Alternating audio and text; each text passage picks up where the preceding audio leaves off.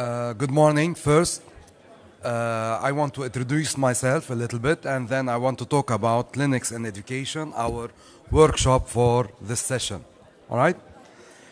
Uh, first of all, my name is uh, Dr. Muhammad Kalash. Uh, I'm holder of many certifications, some of the universities, like a PhD in management of information technology, and some of lots of other com- companies like Cisco, uh, LPI for Linux, and Microsoft, and so on. And today's session, we're gonna talk about Linux in education. All right? Uh, after I finish, if you have any questions, we can have a Q&A uh, session, and you can ask whatever you want. All right? First of all, closed source or open source? This is our question for today. What should we use with our children in schools? In today's competitive world, it is the answer to that question that allows business leaders in all levels to compete and even countries to compete. It starts from grade 10 as we see it. Should you buy a toy car to your child, closed source, or should you buy to your child a Lego toy and guide him to build his own Lego based toy car? This is open source. Linux and open source applications are important to the industry because of three main factors performance of the Linux systems and its applications, stability, and low total cost of ownership. But to use Linux in the industry, it means we need to prepare our young ones to embrace it and use it. This is why we are focusing today on the young ones, our, our children in grades 10, 11, and 12. We are shifting the mindset of our young children in their school's computer course from using a pre built application, closed source, to learning concepts about how systems and application work and lead them to build in the future their own systems and applications. And this is again open source. And our agenda there are three topics inside of it. First we will talk about how the education of linux os evolved then we will talk about the roadmap to linux education, and after that, we will explain some lessons learned during our implementation inside some of the schools that we implemented in.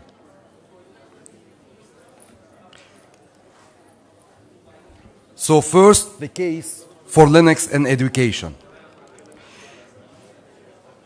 In teaching anything, and especially the Linux OS and open source, there are two sets of skills that we are trying to enhance in our grade 10 students the mechanical skills and the cognitive skills. Whereas the mechanical skills are related to the act of memorizing and solving stuffs, stuff, in addition to doing physical tasks in which the highest performance is rewarded. The cognitive skills, which should be learned in early childhood, are aimed uh, uh, are aimed to help a child to better interact with the outside world when he grows up and are rarely looked at by some education communities and thus rarely rewarded. Some studies showed even for those cognitive skills that poorer performance should be rewarded more than higher performance. And yes, this is against the belief to what most of us know through economics. Some say it is a conspiracy, but really, institutions like MIT and University of Chicago and lots of others said so. In both ways, it is a rewards per performance structure, the same structure used with workers and employees, and the rewards or incentives in the old visions were always money or salary. In our Linux and open source vision, we think of it in a different way. As long as we ensure that every person will have enough money to pay his bills, he will be satisfied and his performance will increase depending on three factors autonomy, mastery, and purpose. Autonomy is to be self directed, and this is not engagement, which is being directed by others, by a manager, for example. Mastery is the urge to get better in doing stuff. So if you allow your staff to show their insight by not standing in their way, and if they reach mastery in what they are doing, what will you get? Of course, something like the Linux operating system or the Wikipedia or maybe something even better. And hence, we reach the third factor, the purpose, which, if combined with autonomy and mastery, we get even better and better stuff Skype, Facebook, Twitter, and others. Here are some student testimonials, and especially I want you to read the last one from schools that we already implemented Linux education in. And if you read the last one, I want to quote from it the words desire to serve people. And that is the ultimate purpose we are aiming at. How did we pave our way into Linux education, into implementing it at schools? This is our roadmap. The five steps for the roadmap are to plan the knowledge, the curriculum, the content, and the labs. Lots of schools joined our Linux education program for grades 10, 11, and 12, where we helped them into all phases, including the planning phase and the sub phases inside the planning phase. We carefully communicated our knowledge about the program and set up for them different roles and prepared them for these roles. Those schools had to throw out their old computer course and implement the new Linux education program. Some twists were made to carefully meet the school's curriculum and the Linux industry needs.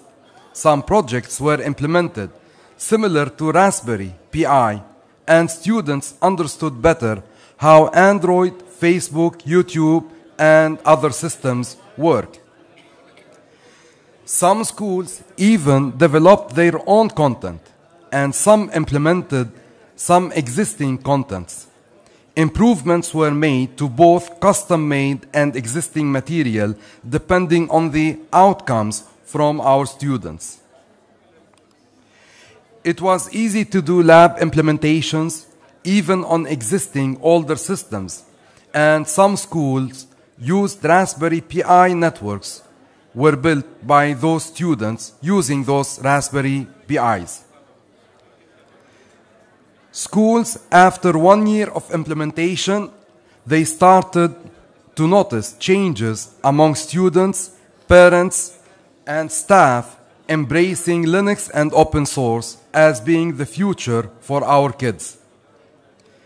Yet, not everything worked right from the first time when we implemented inside schools.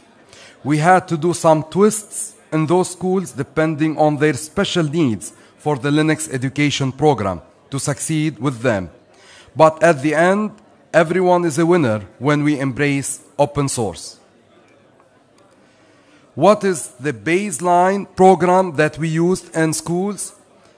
It's the Linux Essentials. This is a course that teaches you how to use Linux, how Linux works, how open source systems work, and so on.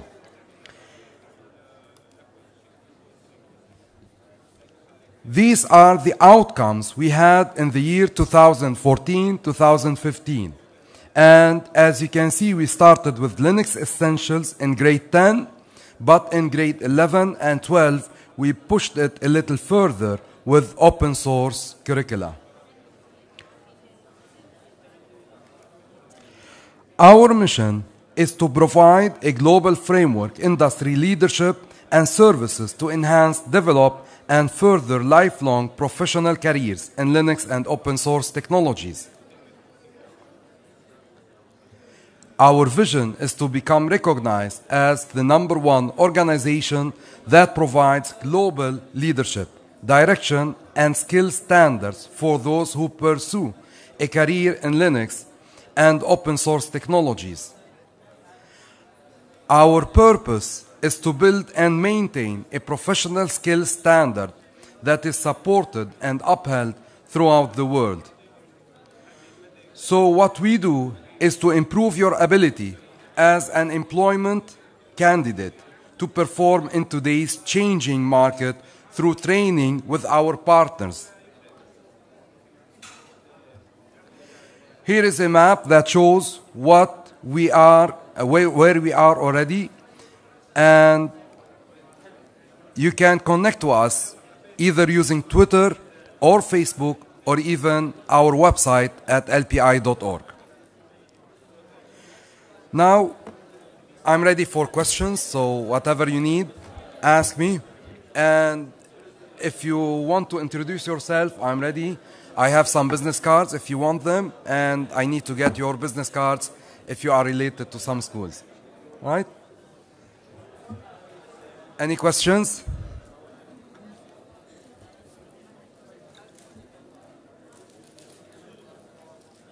Yes. Welcome.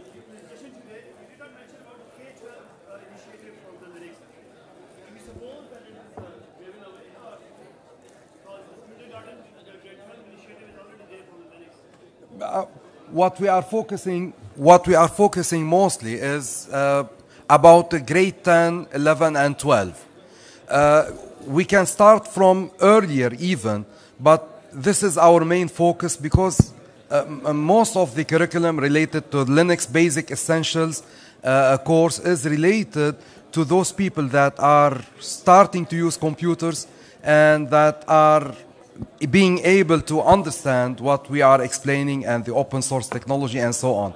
But you can start, there are some softwares that you can use even with uh, uh, smaller kids, starting in uh, kindergartens and so on.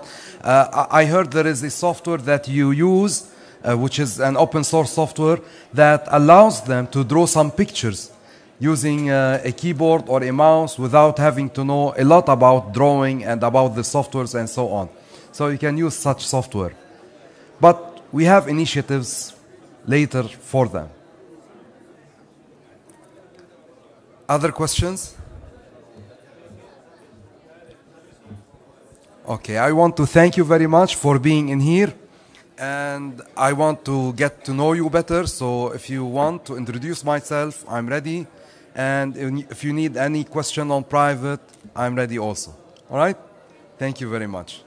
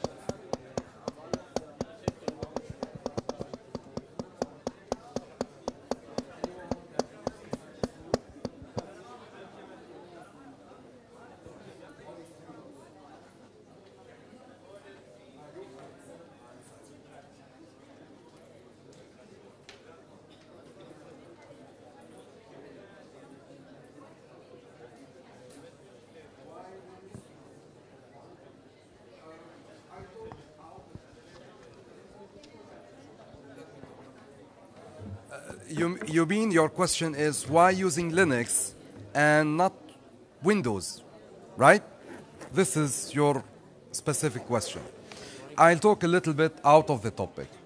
Uh, if you want to go to work and you are a network administrator or a systems administrator and you have an IT department that you want to work at, uh, you have to work with servers. Servers mostly are either Linux based or Unix based or Microsoft Windows based. This is the three of them. Linux or Unix are a little bit the same. Uh, if you work with a server based on Linux, it needs very low resources to work. Uh, you can have 256 megabytes of RAM. Do you know a computer that has 256 megabytes of RAM nowadays? A, a, a quarter of uh, a gigabyte? You don't have a quarter of a gigabyte, but still Linux can work with a server uh, with uh, a quarter of a gigabyte RAM. A Linux can work on a hard disk that is only 40 megabyte or 50 megabyte. It does not need a lot of space in order to be inside the computer. Uh, it can work with very old systems. Uh, I have uh, back at my home even a very small PC that is uh, that big, a stick, like the USB drive, and it has a Linux operating system inside of it.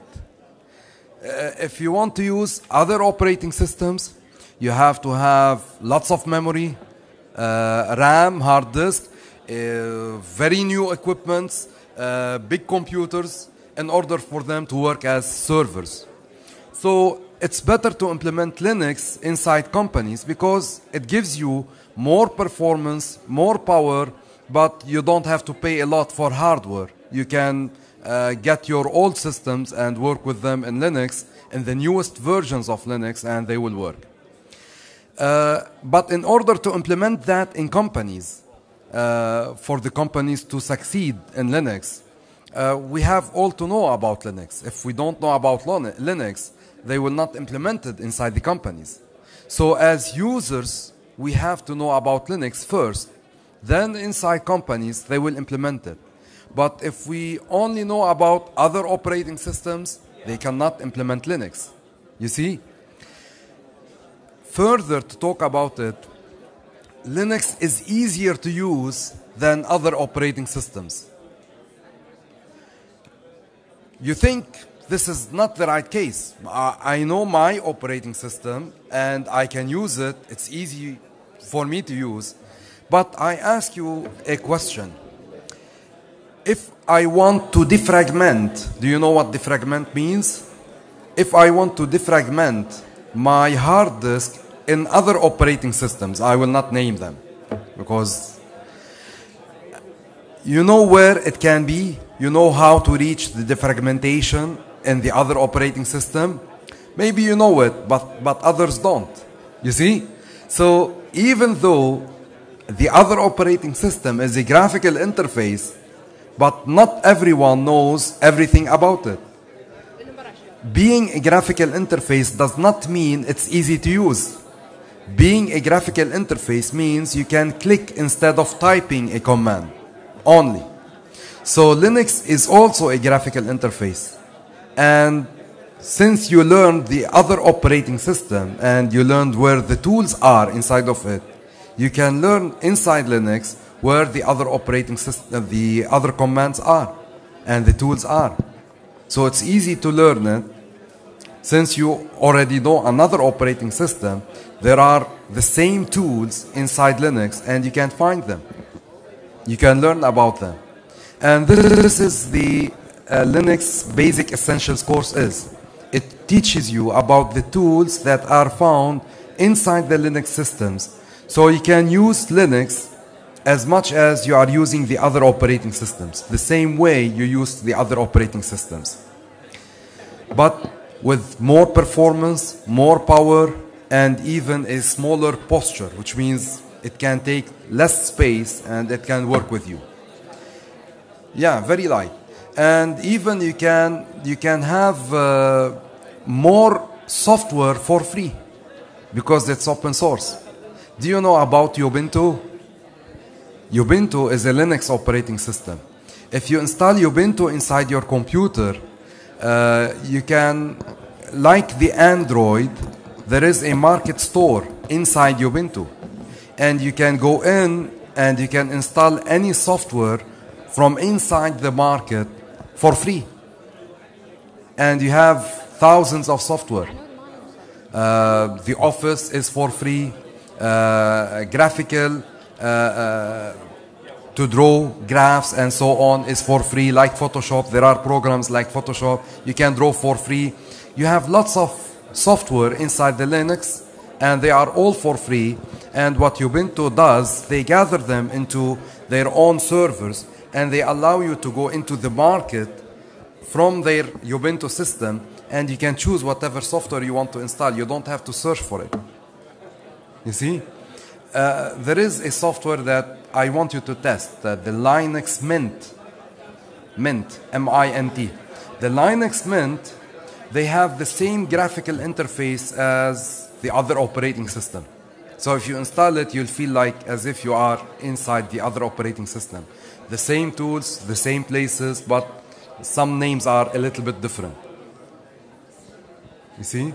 But lots of people use Ubuntu because it allows you directly to install other softwares instead of searching for them. All right? Any other question? Uh, the security. This is one of the main reasons why we use Linux. Uh, everyone who wants to attack something will attack the other operating system. The reason for attacking the other operating system is they don't allow you to install the software for free. So they attack it to install the software that they need. If I want to install, for example, Photoshop, and uh, I have to buy a license, and the license costs too much for me, then a hacker might try to crack this software to install it for free. And this is done in lots of countries. But if I have this software for free, do I attack it? No, I will not attack it. So most of the attacks are done on the other operating systems, on the uh, closed source softwares like the other operating systems, like Photoshop, like AutoCAD, and so on, because they are closed source. But no one attacks something that is given to him for free. You see? And hence, you don't have viruses in Linux. You, you don't see viruses in Linux because no one attacks Linux. If you are giving something for free, why do you need to attack it? So it's more secure. And even with that, you can configure security features in Linux systems. They are more powerful from the other softwares. So if you have Linux servers inside a company, for example, you can configure security for that company because some people might attack their data on, their, on these servers. Uh, so you can configure security for those servers depending on Linux. Even the security is more powerful than any other operating system in place. You see? Uh, do you know routers and switches from Cisco? Did you hear about Cisco? Do you know that Cisco builds devices that are used to connect the internet and the internal networks together? Do you know that the operating system of Cisco, which is called the IOS, Internetwork Operating System, is based on Unix? So in the old days, they took Unix and they changed it and they made the operating system of Cisco. Uh, did you hear about uh, uh, Macintosh? some of you are using uh, laptops from uh, Apple, Macintosh, and some of you are using even the iPhone, right? Uh, it has uh, the iOS Internetwork Operating System. It has lots of performance. It's very powerful. It works on the hardware and it does not blink. Uh, you don't have any problems with it, right? Do you know that it is based on Debian Linux? It's a Linux-based operating system, but they changed it in order to make it closed source. So it's Linux system. Changed. Do you have a Nokia cellular, Nokia mobile phone from the old days that contained uh, the uh, Symbian opera- the uh, what did they call it Nokia? Symbian, I think. It was the old operating system before the Microsoft bought it. The Symbian is a Linux based operating system that was used on Nokia mobiles in the old days. So it's Linux. You see?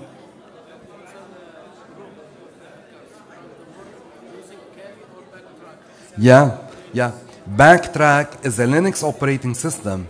And the Backtrack company, what they did is they gathered all hacking tools inside this Linux operating system. So if you want to hack someone, you download Backtrack and you use the tools inside of it. And you can use those tools to hack others. Because most of the hacking tools were built inside the Linux systems. So what they did is they gathered those tools inside the Backtrack software, and now they call it the Kali, the new one.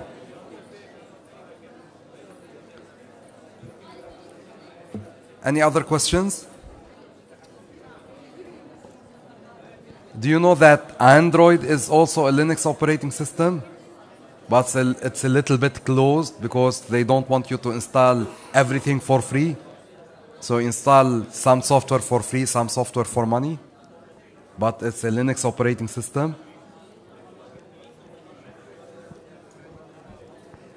Do you know that uh, you have a car, right? And you, your car has some parts of it that are automated, right?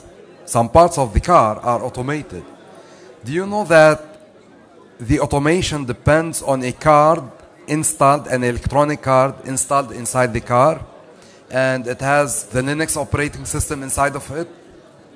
It has Linux. But a very small software of Linux that controls only what the car needs. So everything is based on Linux. All right? Any other question? Okay, I want to thank you very much for being in here. And if you have any question in private, I'm ready. All right?